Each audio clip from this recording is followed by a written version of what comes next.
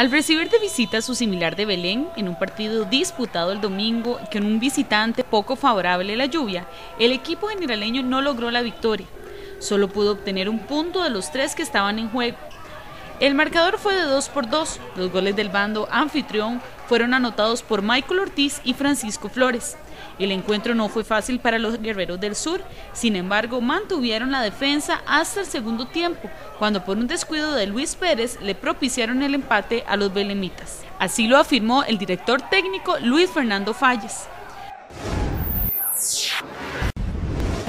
Sí, este, venimos cometiendo ciertas desatenciones, las hemos tratado de corregir pero hoy no es posible que un jugador eh, me cambie las indicaciones que se le dan cuando tiene que marcar.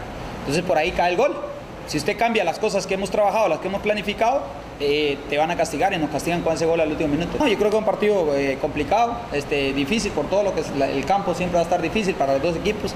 Este, gracias a Dios aprovechamos y pudimos darle vuelta al marcador. Sin embargo, como te digo, o sea, un partido que te cuesta, que le tenés que dar vuelta y al final, por ese tipo, no, eso no son desatenciones, eso son desobediencias. No, creo que, que yo,